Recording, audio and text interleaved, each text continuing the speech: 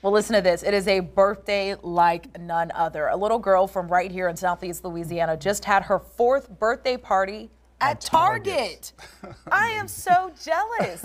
Look at her. So, this is Leanne. Her mom says she is obsessed with Target and loves to go there when she's feeling down, even when she's feeling happy. She says they go there about five times, a, times a week. week.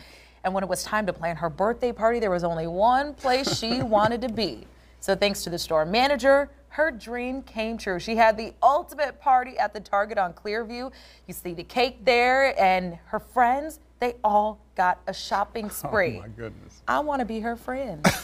I want a birthday party at Target. They look like they had a great time. That is a brilliant idea. Absolutely, absolutely. Okay.